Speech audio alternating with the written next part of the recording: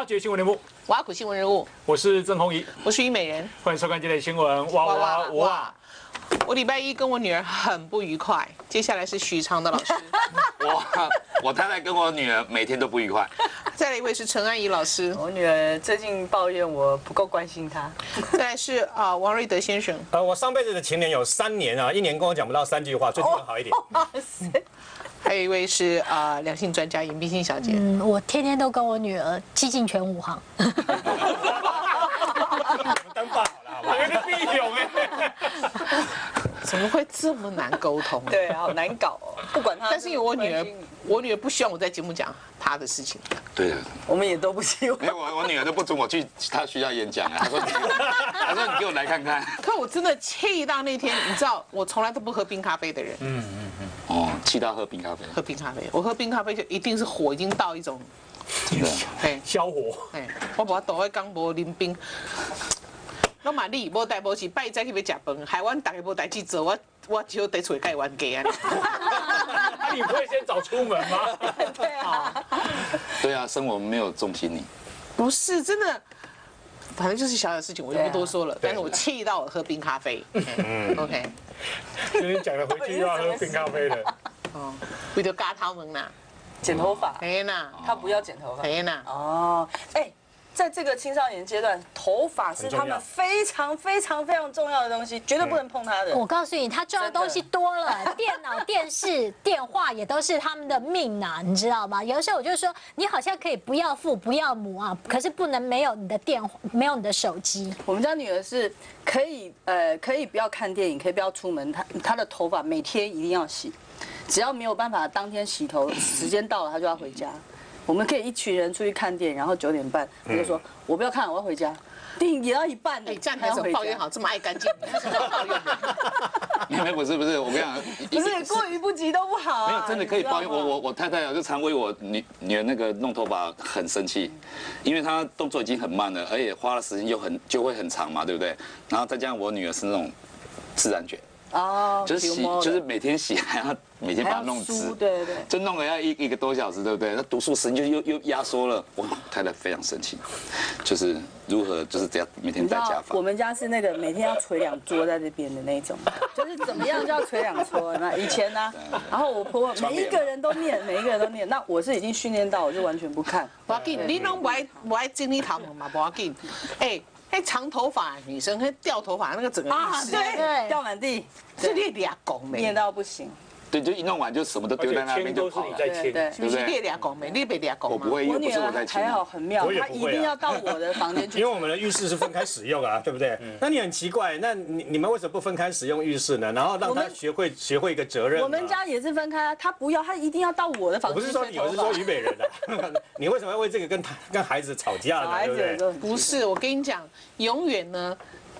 说不讲，他又讲，忍不住要抱怨。明天才有冰咖啡永远就是他要睡觉前他才要洗头。嗯，对啊，没错，我们家很多人都是这样啊。一他们的吹波搭，嗯，你知道吗？湿哒哒的睡觉。一他们的吹波搭，迄都有细菌呐，哎，头发会臭。你打刚睡嘛是臭的，我跟你讲，你来吹波搭，对不？啊，打刚来画一些代志，画到要还洗去嘎嘎的。奇怪，光是这个头发怎么有那那么多种头发？比如说我女儿是，我告诉你，每天怎样？知道吗？他他也是洗头发，他洗完头发以后，他就把那个浴巾啊什么什么全部都拿拿进房间，然后永远你要洗澡的时候找不到浴巾，你知道吗？然后就觉得说他继续擦啊，对啊，对可以可可不可以拿回去啊？不是，那你呢？那你干脆就一条专用的浴巾给他，对啊，他就他不会，他不会，所以他的房间可以一条、两条、三条、四条，然后堆了很多条。哦，这个要学我们，我们都后来就是。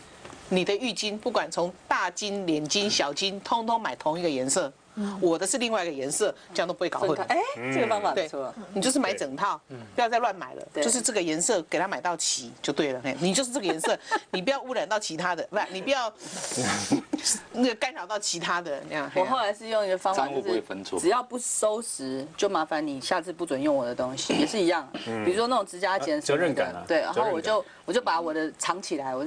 我就把我的专我自己的东西藏起来，他找不到，然后所以后来我们就一人一套，比如说那种小东西。那我跟你讲，最好那个朋友有时候是这样，有时候这种事情呢，我就是录影的时候就跟纳豆讲说，我气死了这样子嘿，因为我是礼拜一气的嘛，我到礼拜冰咖啡也压不下去，你知道吗？还在气这样子，然后然后哇，纳豆真的 EQ 真的好，对纳豆 EQ 好。爱情来的时候都 EQ 很好。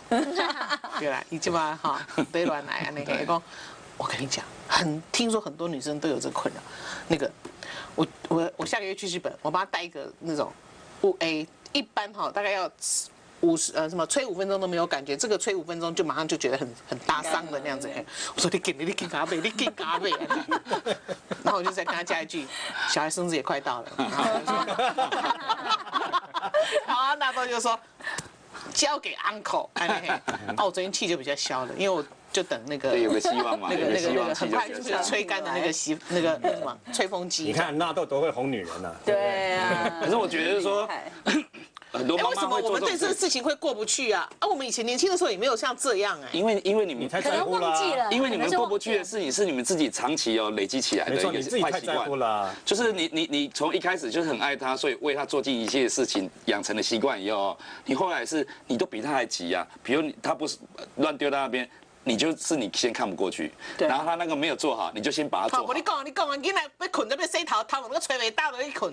好，我觉得如果是我，我的建议说不用 care，嗯，就是因为因为因为你 care 一次、两次、三次，最后都没有效果，那只会情绪化。你为什么还不停止啊？吵架，那个有 M 系列早给你的不 care 啊。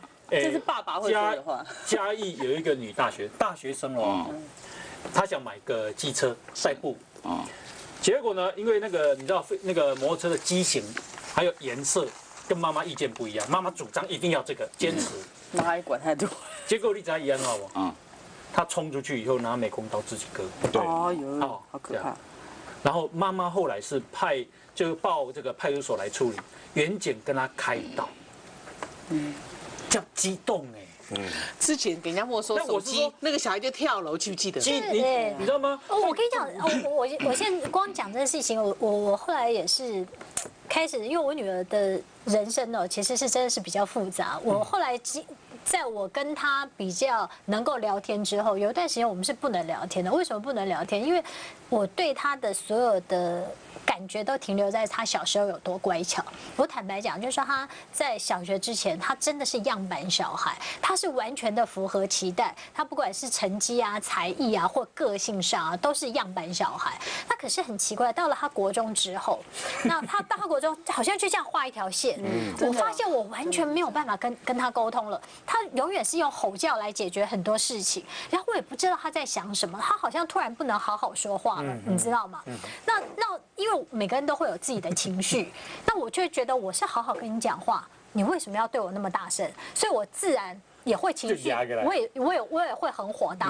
可是后来在我了解他的。遇到的事情之后，因为他原来也也懒得跟我讲，他说反正你也不会了解，你也不会相信，也不会了解，然后所以他也懒得跟我讲。然后直直到他后来在后面跟我讲他，我才发现他小孩子，你不要以为他无忧无虑，好像念书就好，其实小孩子的世界比成人更复杂。特别是那当时我因为哈，就是我一直在想我要让他念私立还是公立，可是因为我们家小孩都一路公立上来，所以我就国中吗？国中对，我就想说，国中的时候我就说还是念公立，公立高国中就好。那刚好因为我们的学区是文山区，我觉得文山区是文教区，应该不会太复杂。就没想到他当时他的运气很好，他们班上就有黑道的了，然后右边有一个嗜睡症，然后突然上课上上，砰倒下去睡着了，你知道吗？然后呢到他学习然后呢，后来呢，他们班上有一个割腕的了，你知道吗？又又有又有人会割腕了，又会怎么样？就是说，然后他又有一个自残的，然后后来他们的导师。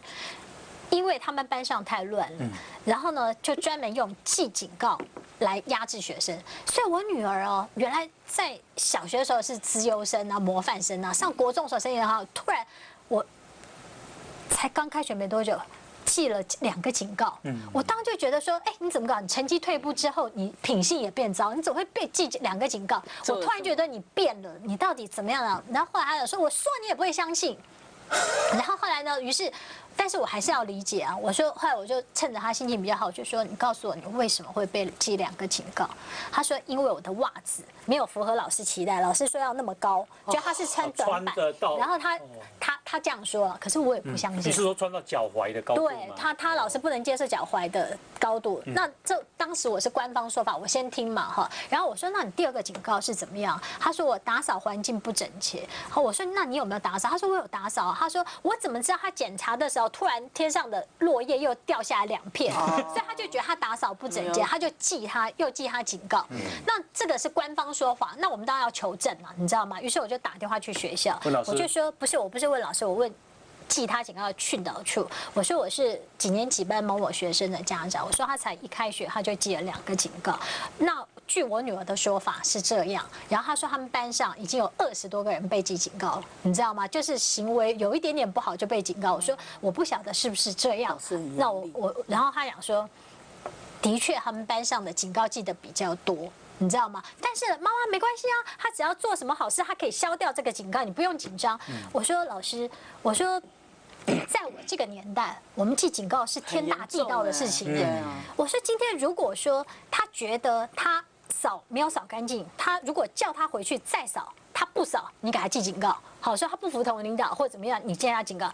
他扫完了以后，天上又飘来落叶，你叫他为这个负责，我觉得这。不合道理吧？嗯我说那他穿的那个脚踝的袜子比较短，你觉得这样不好啊？学校有学校规定，我尊重，提醒一下吧，对不对？兴趣学校来了。对啊，我就说可以提？我说我不想当恐龙家长，但是我只是请问一下，就是说我真的觉得这太无聊了。对，我就说，我后来我就跟他讲讲这件事情，呃，然后后来那次我女儿就觉得，哎，觉得哎，我好像可以站在他的站在他那边，她就觉得心里比较舒服一点。那又讲到那个手机事情，那我女儿后来有段时间就是哦开始手很机一定是最大的冲突。没错，嗯，真的很崩溃休息一下来。你当然是啊，为了手机叫我去洗。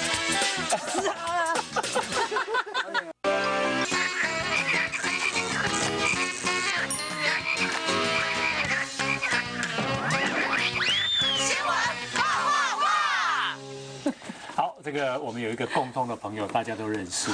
他说他女儿国三，好，他听到我们要讲这个议题，他说我女儿手机我已经跟他没收三只了。我说然后呢？他说现在是他，我是他永远的仇人。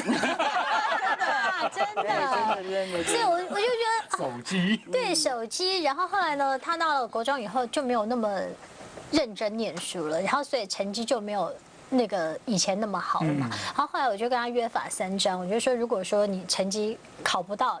五名内的话，哈，那很抱歉，你可能一个月就不能使用手机。哇塞！就后来没想到那次他就考第六名，你知道吗？只差上零点几分。嗯可是我觉得规定就是规定嘛，你知道吗？就够拼命了，就他跟我拼命了，你知道吗？太他就严苛然后他就开始那样子暴暴怒啊，因为我原来就跟他讲说，我我说你今天，然后后来他跟我大吵，大吵之后呢，我就说。你你知道青春期最惹人厌的地方是什么？我说你到底是大人还是小孩？我说你如果要我把你当大人，你要我尊重你，你就要像个大人一样，我们遵守，我们履约嘛他。们要别人尊重的时候，他就是大人；对然后他要别人照顾的他，他就是小孩。对对，他他如果你看负责像任的时候，今天他人家每次法律问说也有人情啊。听我讲了，就是第五名，对不对？嗯。你今天我当时跟他合约就说，如果好，你这次考五名内，对不对？对对我对不起，我小看你了。你玩手机玩什么不会影响你成绩？第六名啊对，我跟你说声对不起。可是如果我们来玩个游戏嘛，我就跟他讲，我们玩游戏嘛。如果你真的没有办法的话，表示还是需要努力嘛，对不对？所以我就说，我们就要履约啊。他说好啊，我就说从此之后我不管你用，我不管你嘛，对不对哦？我所以说我就不管你嘛，表示你自制嘛，你有能力。然后后来他就说好啊，那现在怎么不好了？现对不对？就是你现在第六名，你就是没有那个。你不能法外开恩一下吗？然后后来呢？重点是我可以，我可能可以法外开恩，可是你的态度让我没有办法法法外开，因为哎你狂叫呦我怎，么了？因为你生你吼叫，你大大叫。因为吼叫是可能是因为你的你很你很硬啊。然后后来 哈，哎，女儿怎么吼怎么吼？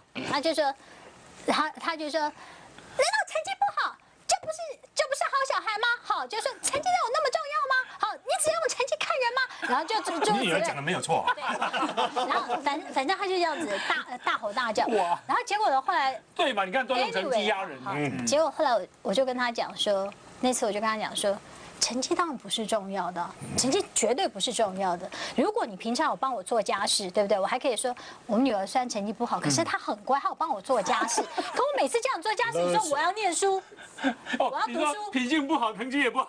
对不对？我觉得你也不帮不帮忙做家事，你不帮忙，你不帮忙做任何事情，你知道吗？我说属于家庭的事情，任何都不帮，你就说你要念书。好，那那没办法，你的唯一考核就是成绩啊。那如果说你今天跟我说好，那个。你不要太注重我成绩哦，我觉得成绩不是唯一。那好，就麻烦你分担一些家事。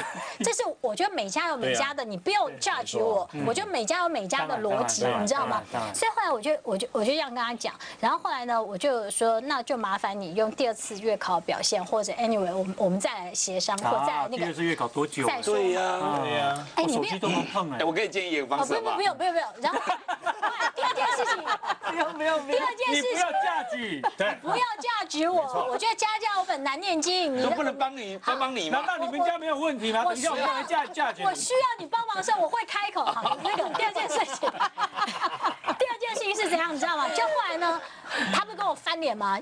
嗯跟我是仇人，不跟我讲话，你知道吗哇应该又是另外一个仇人了嗯然后于是呢，后来隔天呢，突然他们班那个第一名的妈妈，女孩子的妈妈打电话去说：“小薇妈妈，我们家谁谁谁有没有在你们家？”你可我说没有啊，他说那你可不可以找就你女儿跟我讲话一下，要讲话的话，我就说，然后后来我说怎么了？他说昨天晚上我看他一直用手机，一直用手机，结果我就说你不要再看一些就是说那种垃圾文章啦，那个什么什么，于是我就说我先帮你保管，结果他离家出走了，班 上第一名，第一名也他没有跟他妈吵，他没有跟他妈闹，他直接离家出走了，你懂吗？哎，那个妈妈会很操心的，她不晓得她安危紧张。死了，然后后来他就留一张纸条，说我走了，更恐怖，就是就是我没有，就是就他妈拿他说，他就觉得说，所以后来我就说，我就拍拍我女儿说，谢谢你啊，我们至少有那个，人家第一名也是给说，我们还可以就是我们还可以沟通，我最后你女是是你希望你当当他是大人还是小孩？对，所以后来我就跟他讲，就是说你今天你自你自己，我说。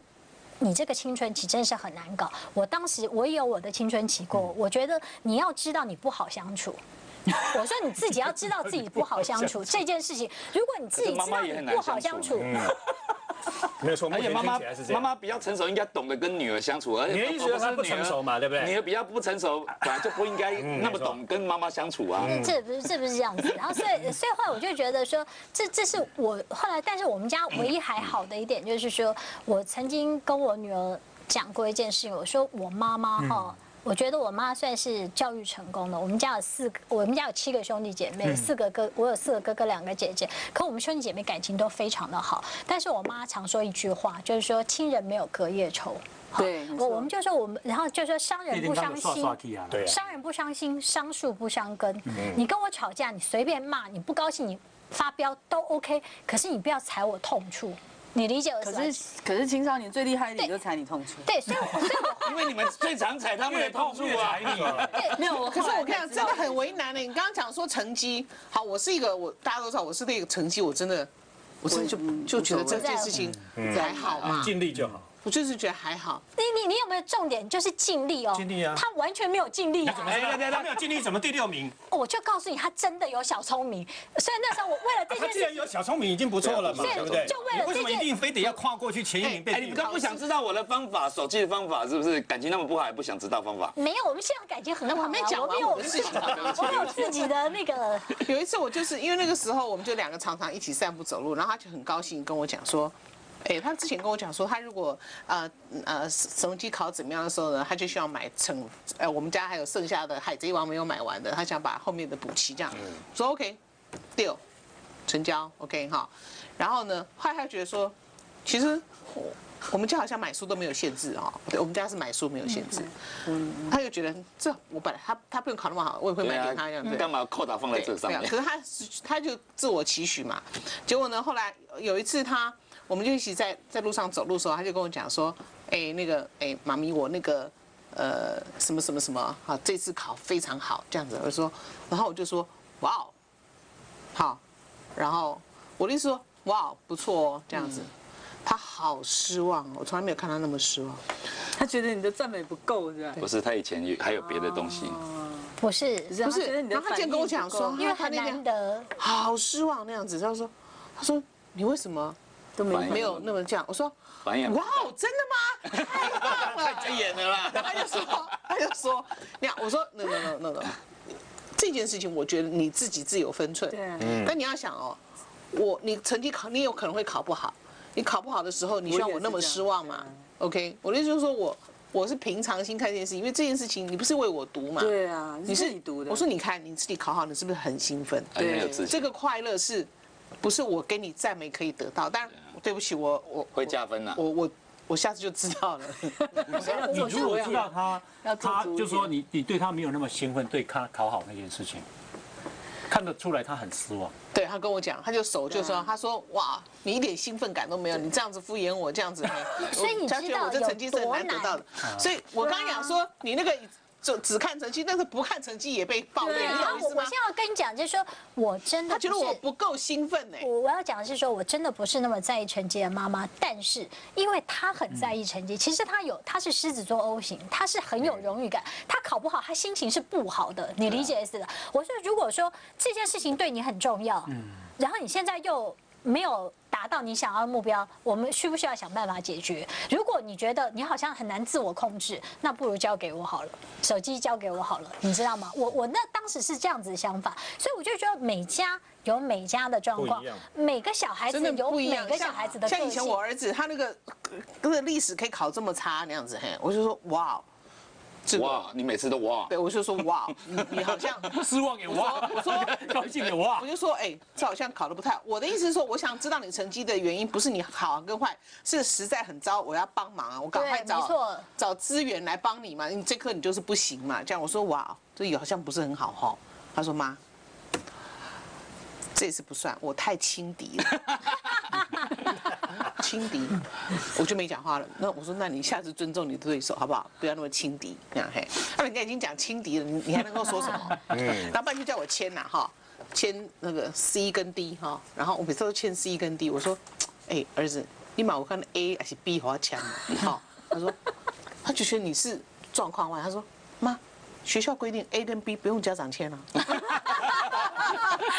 A 跟 B 就不用签了，C 跟 B 拿他妈贵子弟 A 跟他还有 B 就不他用 还有拿给你签，不错他啊。给你签的原因是因为让你知道贵子弟成绩不好成绩好像有待加强。啊我就很，我就他要让你知道贵子弟有点轻敌，我的概念是讲，哎，安排了魔幻 A 跟 B 没有 C A 跟 B 不用签。所以他平常其实有很多搞不好没给你签。对，没有，我觉得你儿子的态度很好，我我就他会让大事化小事，没错没错。然后当大家彼此的沟通轻轻松一是点，当小孩跟人家成绩考不好，人家说妈，我这是轻敌了，你好像很赞这已经是总统没有，我我觉得说，我觉得不管妈妈跟孩子哦，回应这样的问题的时候，一定要有这种态度，嗯不然我告诉你根本就没有办法沟通。哦，你知道我后来的整个过程，回家的路上，整个过程一直跟我女儿道歉。我说我其实是很感动的，可是我我我不是那个意思，你要了解我。然后我觉得这时候哎，为什么我们那么在乎子女的感受？对呀你觉得我们的上我们的上一辈对我们有这么这么在乎？有都有在乎，只是在乎的方法态度不一样而已，都很在乎。为什么？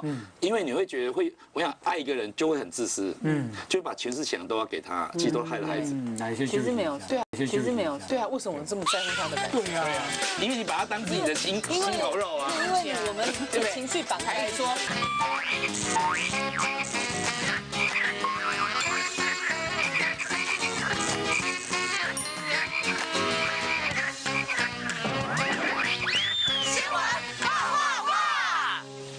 每次考试完呢，就是有有很多同学的手机被没收或者被摔坏了，对不对？啊，对 再完了，我林北都给你啊，寒暑假玩也会啊，。领导都没手机的问题啊，我先解决你刚才那个。人家没有问你，我我可是我要参与，就是比如说，如果他第六名嘛，对不对？如果他是第六名了，我就会跟他讲，我说，哎，我真的也觉得差一名而已嘞。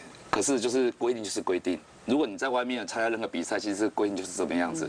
可是我们家不一样，我们毕竟不是外面，你要不要提你的想法？我让你申诉，就是我收上手机给你用，可是你要用什么补？就是我们让他提条件嘛。就是我们我们让他去扛知道这个责任。外面是这样子的。我，们让你去扛这个责任。然后我我觉得我们在家里哦，就是常我朋友会因为手机哦，不要让孩子碰手机哦，通常这两个原因，而且爸爸妈妈都讲这两个理由，有时候你就会影响功课，视力，对不对？然后眼睛会坏掉，眼睛坏掉啊，就这两个。我觉得这两个理由是最最弱的理由。没错，其实蛮弱的。我我觉得，我觉得大人要要处理这个事情哦，我让小孩子的标准现在可是比你聪明的，就是他会觉得你公不公道。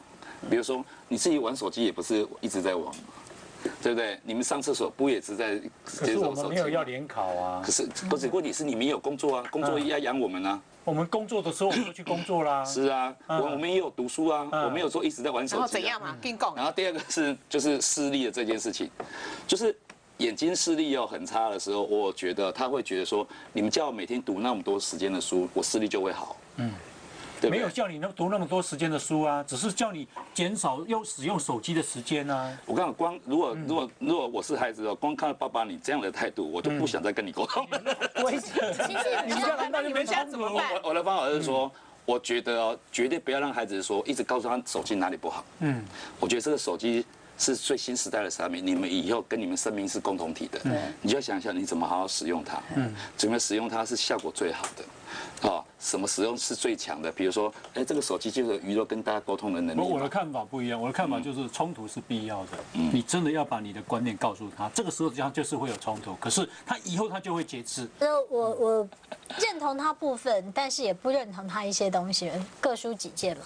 因为我那时候就跟我女儿讲说，其实你用手机，我是这是时代产物嘛，这是。但是我不希望你成为一个很 boring 的人，你知道吗？后来你知道有一次吃饭的时候，就大家就这样不聊天嘞，滑滑滑滑。我说我们已经失去了那种亲密时光，对你知道吗？我就说其实手机真的很有趣，但是有趣的东西还有其他。可是我告诉你，现在年轻人也发展出，我有一次跟我女儿去吃回转寿司，然后手机一拿出来，她就把我手机拿过去，跟她的手机叠在一起，有没有？Step the phone。Stand 嗯，他说现在我我说这干嘛都不可以用他说我们现在出去吃饭，大家都要把手机交出来，对然后叠一摞，因为这样闪闪光就不知道是谁的对，这样就是不可以也是这样就是不可以。哎，年轻人自己也发展出他们自己的也发现发现，因为大家大家都拿手机，但我们在聊什么，所以全部都要把它所以现在连盖起来。这个的补充一下，其实有一些餐厅是会放一个篮子，对，对啊，就是说他们鼓励你们全家经过同意以后，把所有的手机都放在一边即便谁想的都不要去拿。可。是他这个方法还有另外一个效果哦。嗯。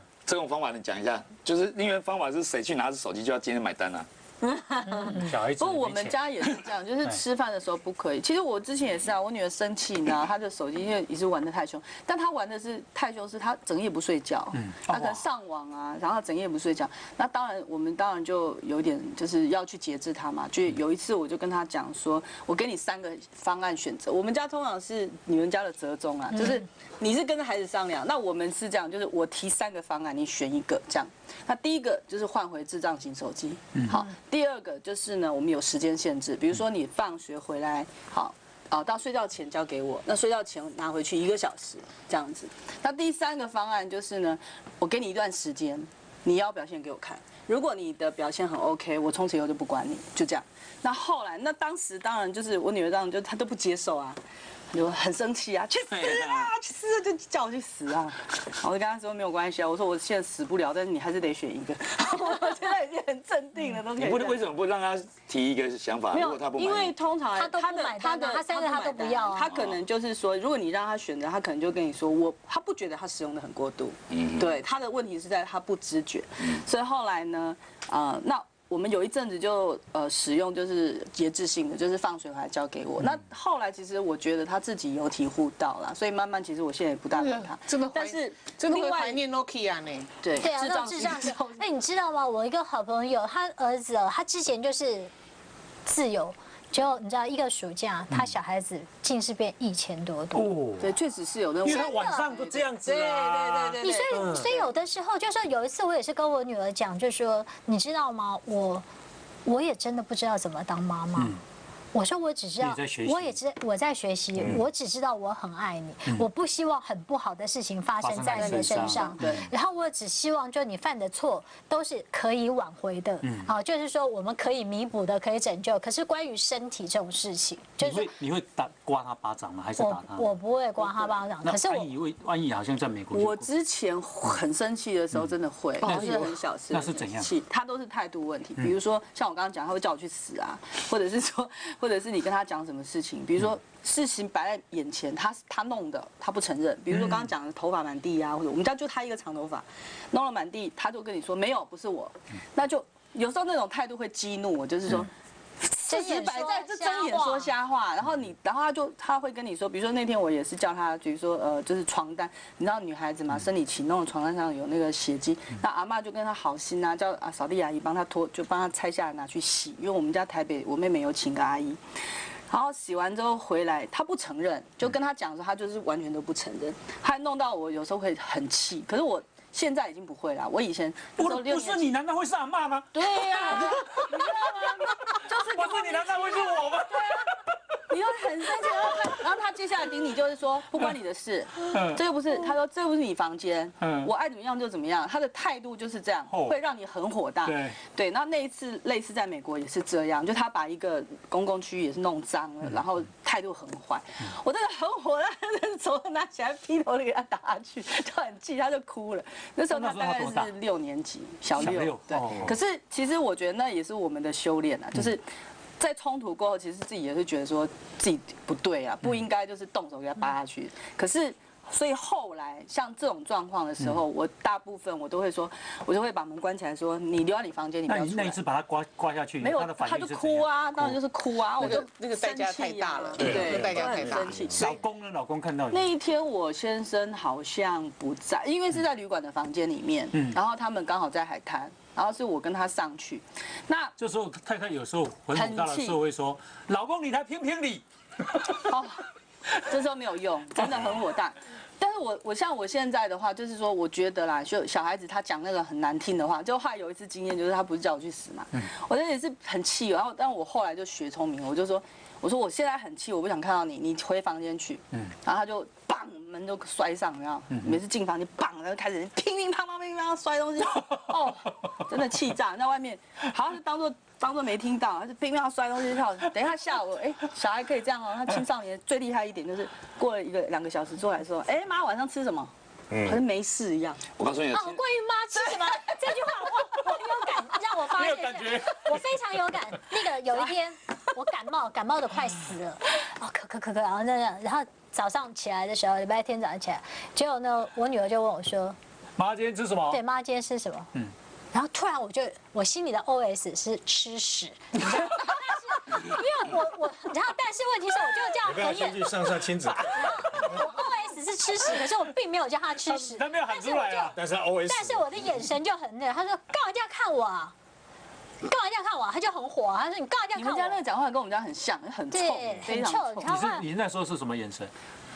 我就这样看嘛，因为我就应该是病恹恹的啦。对，因为我说我生病了，还问这种白目问题。然后后来我就跟他讲说，你已经十八岁了。我说我我突然我觉得我好像教育失败。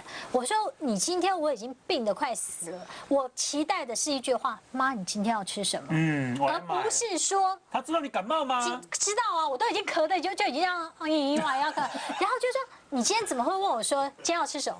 你知道吗？或者是说他有一次也是那个说，我就说哦，我买了什么东西，你想吃的话，然后那个去拿去吃？他说在哪里？我说在厕所了。然后后来他讲说干嘛这样讲话？我就觉得说东西会这样啊，就在厨房。我我觉得很妙哎，我觉得跟你女儿要到青春还是还是去上上亲子课程好吧？我觉得你比你女儿更需要。哎，我刚刚不是在吐司呢，在马桶。我刚刚都在那边讲完了，因为很懒，因为我要形容的是说他非常的懒，他常常就是小小孩都这样子，是应该把女儿全部都带来，让他们讲。对啊，这个会一面之词。没有后来在厕所，没有没有，我刚刚要讲的是，他不是跟我说要两个小时过来，妈吃什么？然后我现我后来已经修炼到，就是我可以让事情就这样过去，就当做没事。好，我们就去吃饭，就吃饭的时候才妙嘞。我跟我妹妹两个在聊天，就我们我跟我妹带着他们俩去吃饭，然后我跟我妹在讲到说啊，现在有些假日父母啊。平日都就没有办法照顾嘛，啊，就孩子就假日领回来这样，我就说我觉得那样的状况其实不是那么的理想啊哈。然后我们在聊聊聊天，我女儿就突然发话坐在旁边就说，对呀、他说那很陌生啊，很疏离啊、连吵架都吵不起来呢。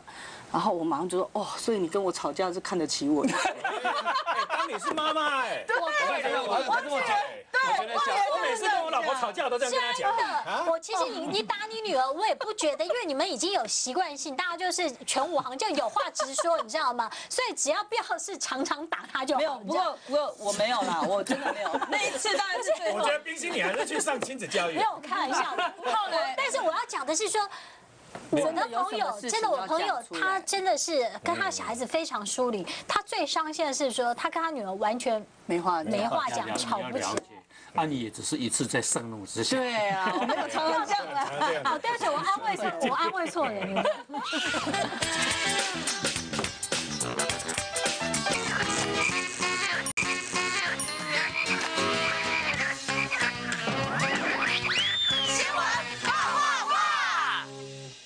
瑞德的啊，就跟太太跟亲子关系好不好？今天参加这个节目最大的收获是啊，听过别人的故事以后，你突然间发现自己的亲子关系其实还不错。为什么呢？呃，其实我今天我们会只花三个人这么。因为三年三年只讲两次话，应该也是不会其差到哪里实一。开始的时候，因为我跟大家不太一样的是，我因为童年过得不好，所以我从来我从来不想生孩子，然后从来没有抱过孩子，没有跟小孩讲过话。我第一个抱的是我儿子，那是二十年前的事情。然后后来女儿出生了，女儿真的是爸爸上辈子的情人，所以呢会对，因为女儿会撒娇嘛，啊会跟你讲，所以从小的时候女儿就缠着我，腻着我，然后来做大腿，包括我跟我老婆的手牵手，她都会从中作梗嘛，把手弄掉，要跟她牵这样子哦。所有的一切在小学六年级毕业的那一个时候开始哦，世界就不见了。小六又是小六又是小六对，然。后整整国中三年哦，我一年讲不到几句话。我女儿是 O 型金牛座，我是 O 型摩羯座。嗯，然后她突然间就青春期嘛。嗯，那因为我们知道我们有青春期过，我们也叛逆嘛，哈。然后她突然间就青春期了，为什么呢？对爸爸来讲，你会突然间那个情人就跟你分手了。对，我讲坦白的。他不坐在，我告诉你哦。我告诉你哦，他不是不跟你抱而已啊，不是手不跟你牵而已，他根本就跟你决裂了，你知道吗？他不跟你讲话，不理你了，你会觉得啊，一个心肝宝贝为什么这样？那心我们心里面还是很疼他的。可是问题是，我都不动声色，因为我的个性，我不会因为这样子就把喜怒形于色，对不对？可是我觉得红衣有一个观念蛮不错，就是要让他知道父母也是有脾气，也是你要彼此要互相尊重的。我举个例子来讲好了哦，这个我太太跟他常常常腻在一起。我们家比较跟孩子比较亲的是我我太太，然后呢又像母女又像姐妹啊，常常常打打骂，常常这样子吵吵闹闹的这样嘛哦。可是有时候呢，就是因为我太太管太严或怎么样吵架了干什么，就他不理他了，不理我太太，然后我太太就会来跟我哭，然后叫我去跟他讲一下，哦要跟他沟通一下这样。有一次我就这个尝试着，然后要跟他沟通，你知道吗？我女儿是根本，因为她门平常都是锁起来的。他我就跟他锁起来啊锁起来，他们都是锁起来的嘛。啊，你要有事跟他讲的时候，他来开门嘛。哦然后就跟他叩叩叩，我说我说爸爸，有事要跟你沟通一下，怎么样？他竟然在里面说，我现在很累，不想跟你讲话。对 啊这样还好啊。林北的避免呢，我一个礼拜不跟他讲话，你知道吧？一个比哦，你以为是要你可以不要跟我讲话，我可以不要跟你讲话。然后大概第三天的时候，第三天的时候，我老婆来跟我讲说。你好像在生女儿的气、啊，我说对啊，为什么她不要跟我讲话？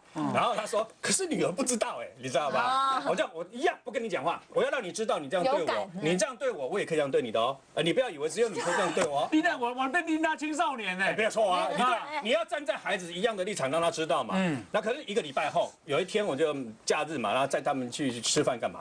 他自己在车上就当做一切没发生，孩子都最擅长这样子他会避开，他不会跟你道歉。他也不会说，哎，妈妈、爸爸，我错了，不会，不会，不会，不会，妈要吃他就突然间就好像当做过去一个礼拜前你没有这回事这样，哦，那就突然间就这样子了。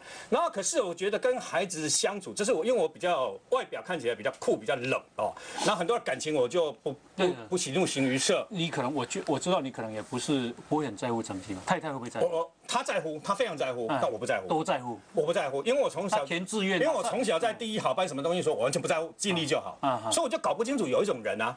他为了孩子女女儿第六名跟第五名不让他要没收手机，这这这对我来讲是不可能的事情啊！你为什么？为什么很简单？因为很简单哦，他他他会第六名表示跟第五名差一点点而已啊。那重点其实在于他有没有尽力嘛。哎那你们是谁在校门口为了填志愿？我我太太啊，因为只有太太会干这种事情啊，因为她太在意孩子们了，嗯所以我那是我儿子，那为了要填什么什么，就就在校门口跟儿子吵了二十分钟啊，嗯你知道吗？要是我不会，要是我的话，我会认为说你，我会问小孩你喜欢什么那。后来谁听谁的？还还是被迫听我太太的啊，哎呀，就是这样子啊。因为我告诉你，他要填什么呢？给儿子就就填，因为包括那个升高中嘛、升大学等等，会再跟他沟通，那是升高中的时候发生的事情。啊啊那因为小孩的想法会跟我们大人不一样，不一样那大人会认为这样比较好，那边因为大人都是用自己的想法。那我太太的话是会 Google 到。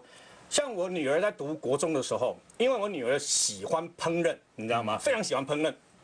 我太太根据她的志愿，就是她喜欢做甜点，喜欢做什么？我太太已经去把日本相关的蓝带学校的餐饮课程什么时候都能弄好了，你知道吗？比他还认真那个对，很认真那我我女儿当然很高兴，可是那个大学毕业以后的事情啊，你知道他 才填高中，她才高中，她现在才高中一年级而已啊，你知道吗？就是说她把什么事情都欢乐的淡。六哎六年后哎七年后没有错，的事情可，是他他很投入，可是我会我会觉得你莫名其妙。可你要知道，经过三十年跟我太太相处，你不可以跟他唱反调的，你知道吗？啊，你跟他唱反调，你就跟自己过不去嘛，何必嘛？如果你唱反调会怎样？唱反调的嗨啊，你开玩笑。说好吵架不翻旧账的，哇靠！这三十年来有多少账可以翻呢、你知道吗？我可以跟你讨嘞。所以你就站在那边啊，我不是站在那边边休息小孩我暂时站在那边那一。样啊，阿德，你老婆跟你女儿常常吵架，那你站哪边？我跟你讲，我我的方还是你都不离，你都离开现场？没有我的我的方式大概十次有七次哦就会离开现场，躲起来就。是不要去参与。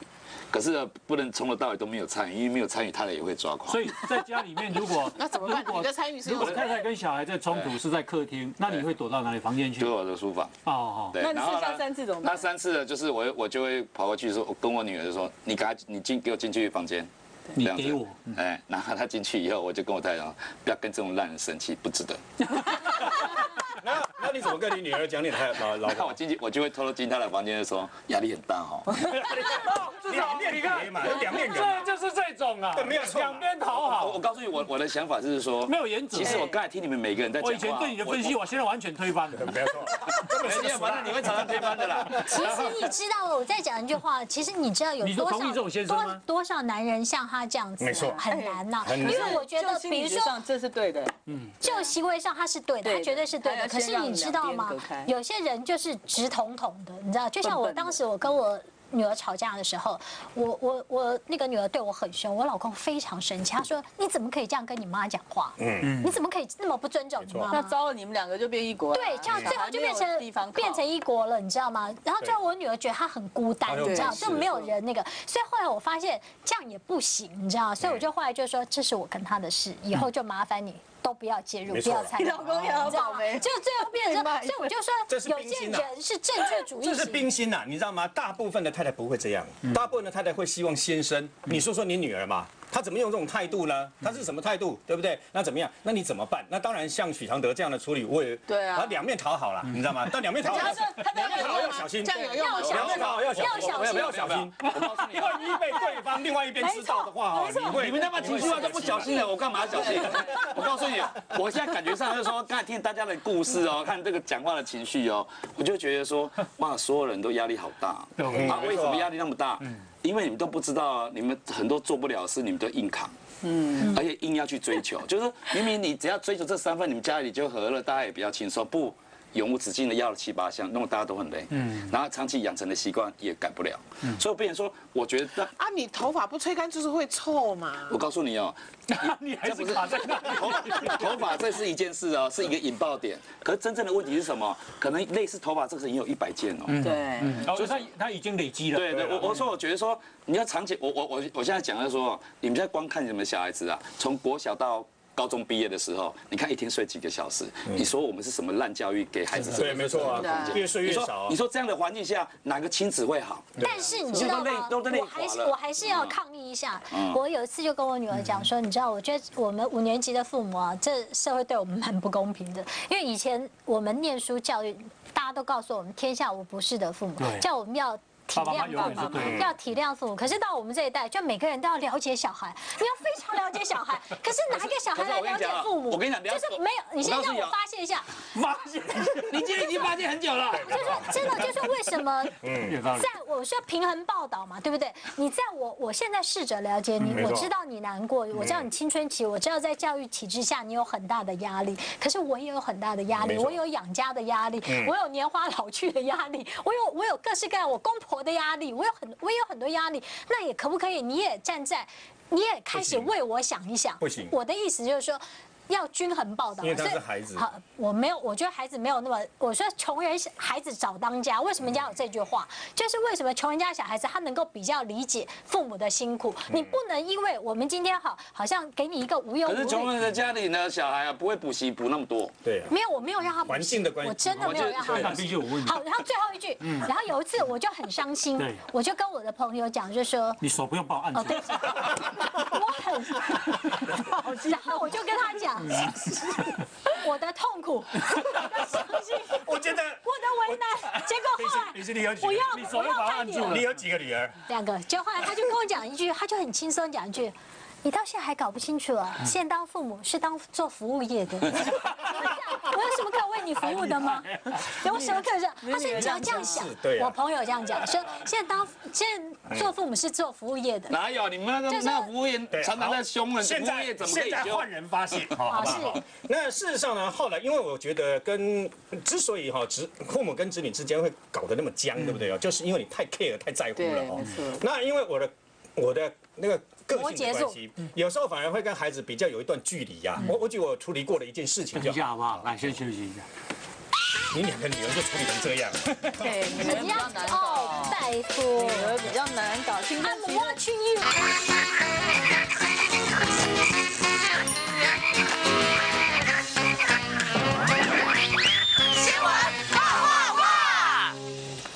回到现场。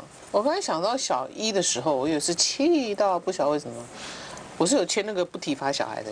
嗯，我那天气到不晓得为什么，我就把他衣架拿出来，我也用离家打哇，过触法！没有，我只像拿着而已不要哦，自残啊！没有就拿着 啊。自残，对，自残气。到要打自己啊！不要，然后我只是拿出来而已啊，那就有威胁了哦。对，气那我儿子就大崩溃。嗯，我是哪一家，大崩溃，然后他讲说，为什么世界上有这么暴力的妈妈？因为你有给他资讯啊，对，我他才知道资讯他啊。知道。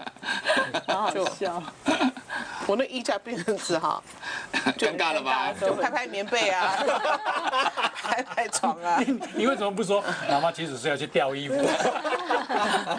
瘙痒。我们家小孩就是你有时候就是小孩盛怒之下，盛怒之下还是不要用后来就是说那是我，那是我，我我我不打小孩的，我是真的，我真的从来没有打过小孩。但是我那次是真的是把衣架拿出来，我也没有打，OK，我就是气到拿衣架，就觉得被他的一句话堵住，我怎么变成暴力妈妈？对就没有打。可是我就觉得说，其实，其实唯一在。但我就提醒我自己，但是我礼拜一没有做到，OK 好，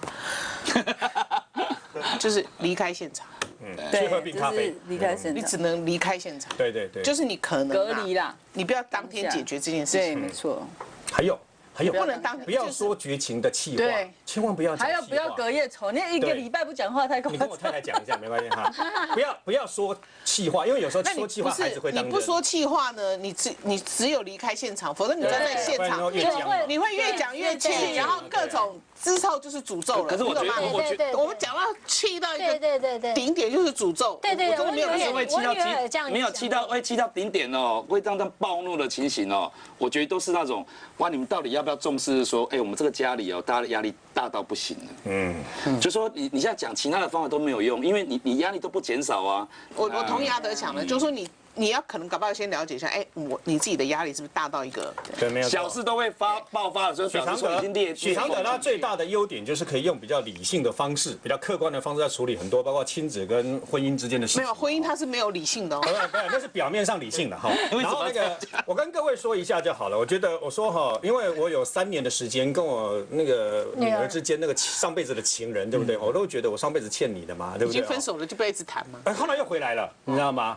然后后来回来的事情就上了高中了以后，那么我举一件事情就好了。我觉得有时候爸爸的角色虽然不像妈妈那么亲密，但有时候没有那么亲密，有没有那么亲密的好处。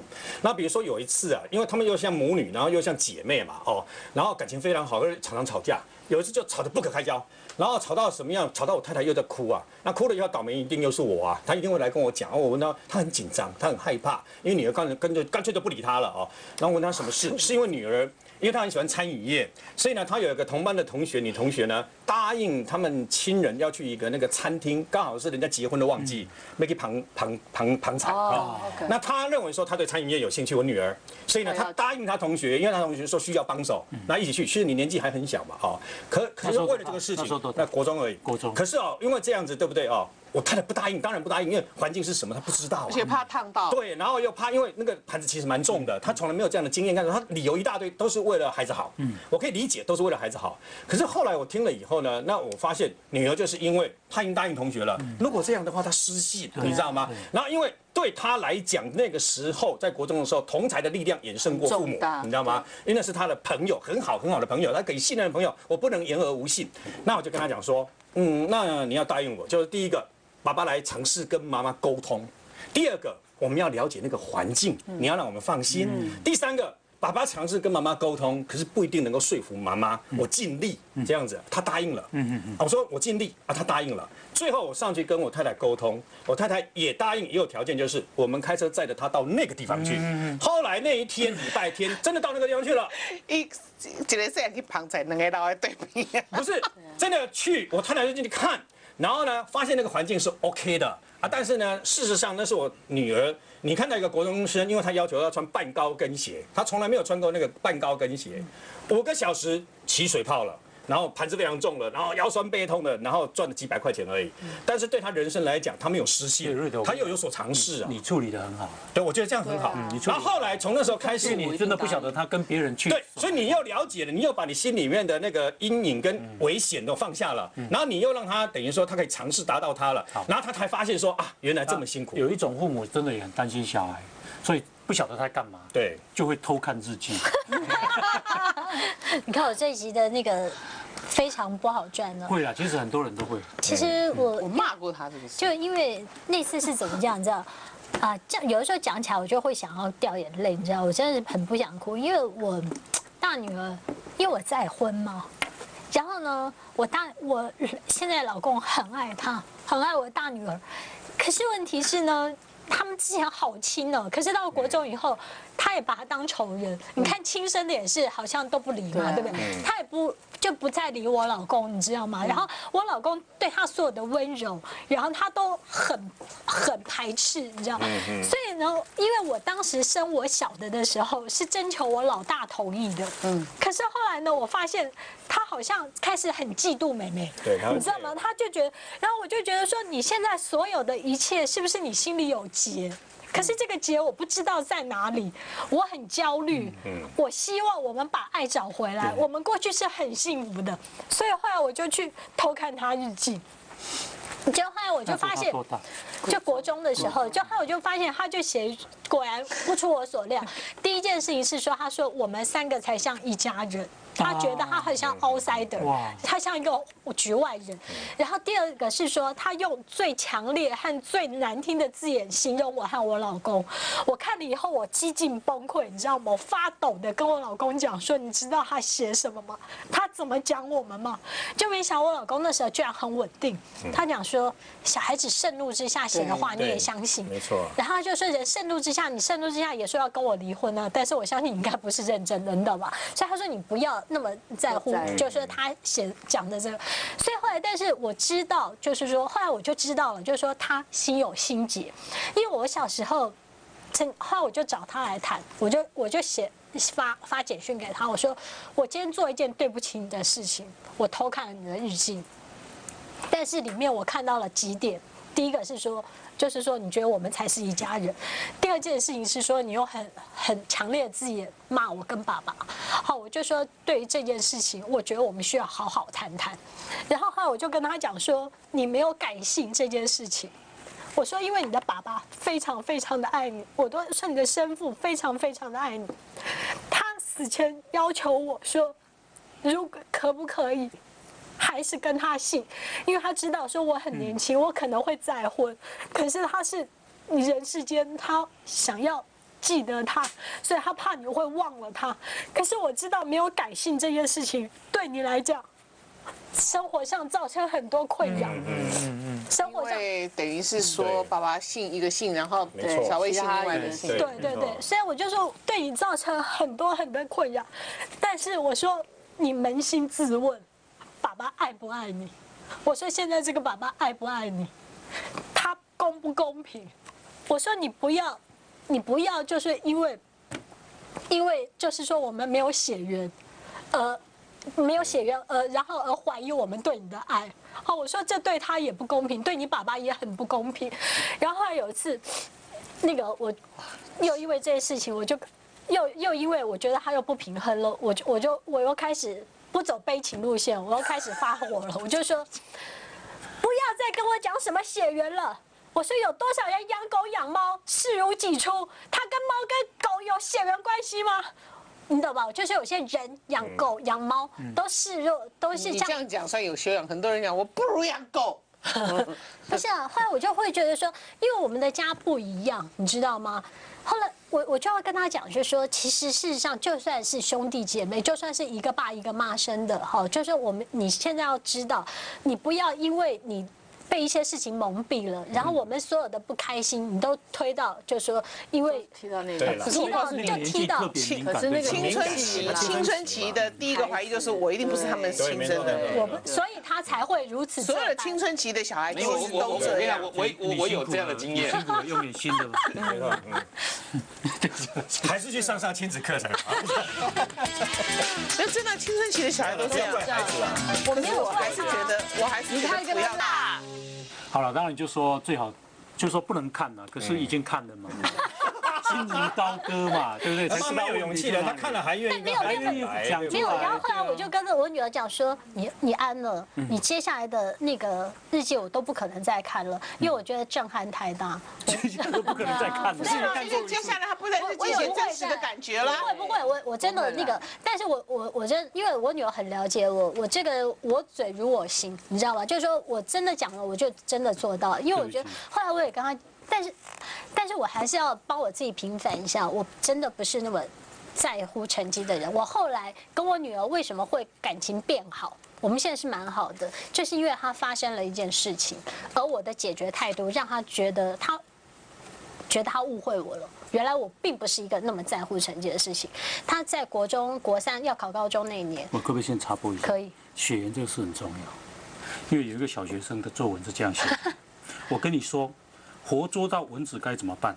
一，当然要养它；二，送他上学；三，给他买房子；四，帮他娶媳妇；五，帮他带孩子。不然还能怎么办？毕竟他身上流的是你的血呀、小学生作文，血好了，这这个哭不出来哭出来了。因为他有有一天晚上啊，那时候已经要快考试了，然后我就我发现他在棉被里哭。那其实那时候我并不知道什么事情，那我就把我自己人生做错，就是做错的事情，然后失败的故事，然后什么什么都讲给他听。然后突然呢，然后就把自己变成一个很很蛮蛮糟的一个人。我们并并不是强者，其实我们犯了很多错，然后做了很多蠢事。因为我要借我我自己的蠢，然后让他知道他讲什么话都不会吓到我，因为应该不会比我更蠢，你知道吗？然后所以后来他在解开心房，然后他就跟我讲发生了什么事情。然后所以那时候他讲说他。嗯发现他以前以为我是一个很在乎成绩的妈妈，你知道，他发现他改观了，你知道，我就说念不下就不要念，我们去睡觉。好，然后我说想哭就哭，然后你真的不想念的话，我们去运动。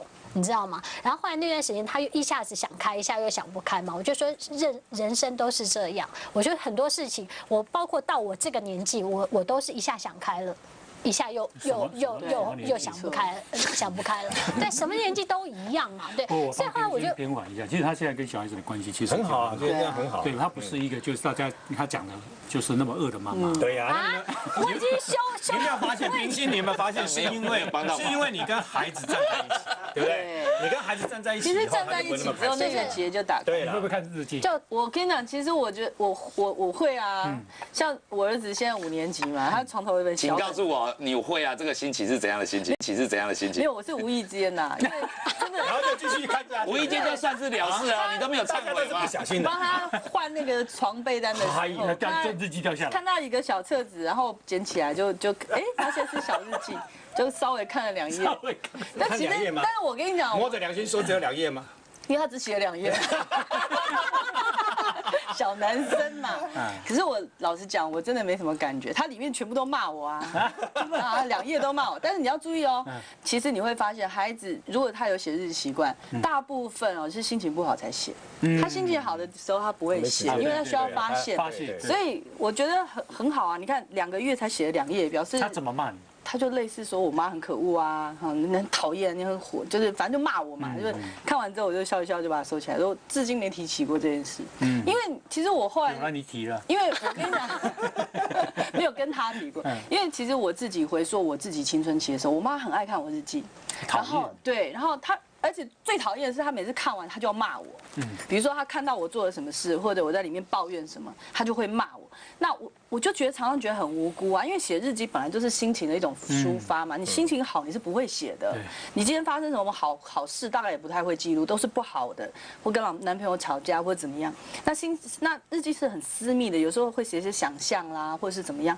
那我妈我妈妈每次看完，她就会骂我，她就把所有事都当真的，我就觉得很冤。我问你，你你妈妈如果你常她妈妈常看你的日记嘛她，因为那你在写日记的时候会有忌讳吗？我跟你讲，因为我妈妈是这样，就是我们没有住在一起嘛是，我是住台北，所以后来我当然就知道啦，我就我就会把日记藏写成两本日记我是没有写到两本，我会把它藏误会妈妈了。妈妈是在帮你换床单的时候，不小心看了两没有，因为我不小心看到两页对，我那个时候很大，我那是大学了，好不好哦？就是因为我妈妈是因为没有跟我们住在一起，她想要知道我在我觉得做什么。我跟你讲嗯，如果青春期过去，小孩就正常。我跟你讲，You are so lucky，对对啊。没错，这到四十一岁了，没错。可是那个都已经是我觉得状况很差了，这都已经对啊41岁了。这是很差的状况。所以如果青春期的叛逆，是不是也要好好处理？否则这一一一路往下走没过就没过，因为没过就没过。因为有的父母的眼最后里面，你这个这是一个这个这个新闻是大概我最近看过这种亲最最我有最最最心酸的，心酸为什么？没错，他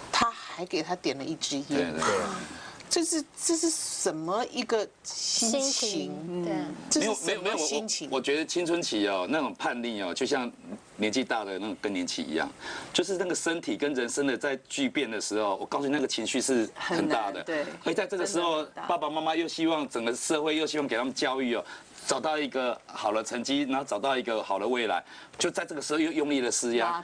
我告诉你。而且，而且你知道，青春期还有一个是嗯。同年龄的小孩，是。两个，真的快要崩溃。其实我觉得哈，像我在演讲或者什么的状况，其实我觉得大部分青春期的冲突，在台湾来讲，其实都是跟课业有关，嗯几乎所有，就是你你处生活中的那种紧张、那种忙碌，或者是小事情，其实累积都是因为后面你没有时间做功课了，你后面压缩的没有，我觉得我我我觉得我觉得台湾的所有冲突啊，最主要的原因是来自于什么？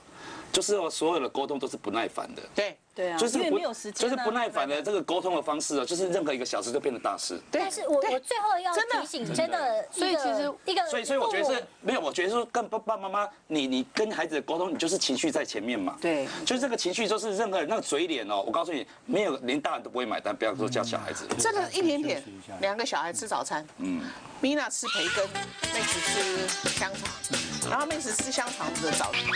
新闻哇哇哇！好了，许常德大师，有关于亲子问题有什么要说的吗？我我我建议以用一个改善的方式来看亲子关系，知道？我觉得每次出现问题的时候，不要去解决问题，是先先先把和谐的关系找回来。先把情绪先先把和好。和谐关系，比如说我我我会要，我也常常会对我女儿就那个现在青春期的叛逆期的表情哦，什么俩狗，就那两个方式，比如说，你就回到家已经不不打扰他，只跟他说，哎、叮当，只这样碰一下而已，对啊，没有也不回应了，就。你说有时候会不会俩公？我可是可是对我来讲，我的我的方式怎样啊？我想我每次这样啊，我要离开啊，对不起，我就走了。对啊，就是我要想办法在他的心中哦累积哦，我不打扰你的印象，嗯，因为我这样我以后才有得跟你沟通，嗯。因为你的压力四面八方已经让你很不耐烦，所以你现在对谁都是有敌意的。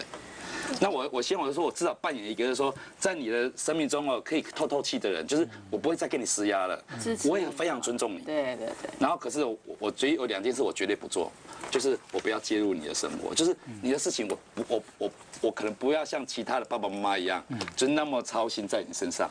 嗯，就是我我我希望是你自己去整理自己的秩序，嗯，然后顶多我我我告诉你我的我的一些面对事情的态度，比如说，我觉得我最常要最刻意要教他的方式就是。遇到事情的时候，有没有办法幽默以对？如果我有想要点子的时候，我就会告诉他说：“哎、我这个方法我用这样方法，你看看你觉得好不好？”就是他就会点滴在心头，他就会觉得说有一股力量进来说：“哎、我们处理这个事情呢，任何事情的时候，不要再用情绪了。”不要再用吼叫了，不要再告诉我你的压力，我的压力，我们分不清楚，我们的压力已经都绑在一起了。然后我们现在想办法轻松一点。等一下，我们对，我要补充一点，就是说，后来我发现我跟我女儿最有效的沟通，就是站在同理她，因为她最近要考大学了，你知道，她压力也很大。那因为她那个，然后那天我就跟他一起在校园里面嘛，一直走走路啊，我就说不想念书，我们就走走吧。然后还有我就说，他说哦好烦呢，我又开始念不下去了。然后我就说，我觉得你好辛苦。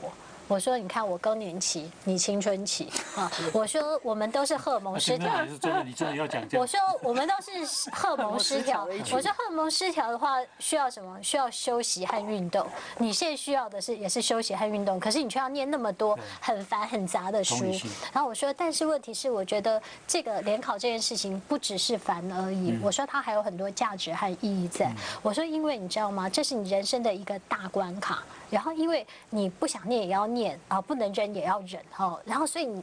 当你过了这关之后，我说你的人生以后还是会有这种关卡，就是说你要勉强自己，我要勉强自己赶一个报告出来，我勉强自己应付老板的需求是。，就是说在更年期的时候，你会不会觉得自己是一个很唠叨、杂杂两的这类妈妈？呃，我尽量，我我觉得是会暴怒，我会很容易暴怒，暴怒坦白讲暴怒，很那我所以其实是荷尔蒙改变。对，所以我就觉得说我我的意思是说，如果你是荷尔蒙改变，你会这样，你为什么不想想我们的我们的小孩子其实也是荷尔蒙改变对，啊？所以啊，我才跟他讲说你很辛苦，我我我也我我很辛苦，你也很辛苦，我理解你。然后后来我就发现哈，当一个小孩子知道你爱他的时候。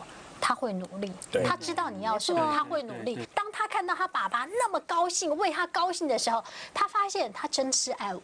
他真的是很以我为荣，你知道吗？所以后来没想到，就最后的现在这几个月，他就开始比较像样的在念书了，你知道吗？所以我后来就觉得说，亲爱的父母们，就是说，当你不知道跟你女儿怎么相处，跟你儿子怎么相处的话，先把爱找回来先让不重点不是你爱他哦，而是让你让他觉得他被爱，嗯，他被爱。如果他有被爱的感觉。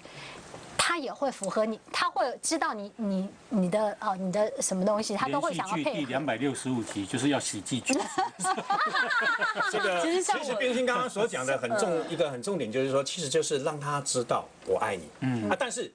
不是我爱你，所以你要怎样怎样，或是我爱你，所以你不能这样这样这样，不是不是不是。所以有时候我都我都不是说多了不起跟孩子们相处了，但我会比较喜欢人家讲的一句话，就是你要把你的高度降到跟孩子一样的高度，嗯你知道吗？站在一样的高度，然后不要，然后要用赞美去取代责罚。为什么？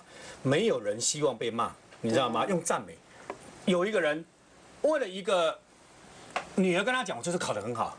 你一个你一个态度而已的，没有没有很高兴，对不对啊？没有很赞美他，他就心里就受到挫折，你知道吗？如果你赞美他，每个人人都需要赞美的，不管你是青春期还是更年期都一样，人都需要赞美啦。你用赞美来取代责罚，我觉得那千万不要再用那个什么。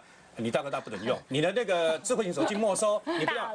我们在台湾已经发生三起，因为这样没收手机去去，千万不要用这种方式，因为因为他会，他你现在的孩子们，Line 啊、脸书了什么东西，他不会因为你没收他就不用啊。他会在外面跟不是，别人我觉得，我觉得。我觉得孩子对爸爸妈妈用没收你手机哦，最不耐烦的一个就是说，哇，你为了要达到你的目的，都是用我的痛处来对啊，养我。对啊，对啊。所以没有，就是这个，这其实我就是来讲说这种处罚这种方式来讲，就是说我告诉你那是裂痕。对，所以我一直说啊，就是我觉得台湾大部分的家长，其实拿掉课业之后，其实剩下的冲突是很少的。就是拿掉课业压力之后，像我们其实很明显，因为我们转到宜兰去，我们到了一个没有考试、没有家庭作业的学校之后，其实这一年多来几乎没有冲突。很赞啊！对，就没有冲突，没有冲突，你知道吗？没有冲突也不行哦。我女儿前两天跟学校老师 真的，她跟学校老师抱怨，他觉得我不够关心他。为什么？因为他都没有问题啊。比如说，他要跟我说妈，我去成品，我说好啊。他下个月六月二十三号，他们就要去日本自助旅行，孩子自己去。我说好啊，非常好啊。这他就后来跟老师抱怨说，我妈什么都好啊，她不关心我，你知道吗？所以青春期的孩子有时候那个松紧哦，真的要这样也不行那也对啊不行后来他回来，我就问他，我就是甜蜜的抱怨。对，我就跟他说，你为什么这么，你为什么会觉得妈妈不够关心你？他说也没有啦，就是因为你好像什么都说好啊，都没有问题这样。我说那是因为我信任你。好，那我觉得很重要的一点就是说，其实我觉得我们应该回过头来想，课业压力，课业到底是谁的？你会唠叨吗？其实我不大会，所以他才会觉得我不太够关哦。那课业其实在我看来，课业是他的，所以他考得好，他考得不好，他将来要念哪个学校，那是他的事情。我们做家长的在旁边，你只要支持他就好了。其实我觉得最终回到根本，如果我们把课业的期待拿掉对了，你跟你的孩没有，我子其实是没有对，但。是我觉得这真的要看小孩，有的小孩是主见很强，有的小孩真的是不知道怎么办。那你又说尊重他，他就更他就更不知道怎么办。这种小孩你要帮他一点，更无所适从。对他反而无所适对从。孩子们绝对不能力敌，要用智取。可是重点是孩子就是比你有智慧。那你就要更精。你要相信孩子。把大人都看多了。真的耶。你凭什么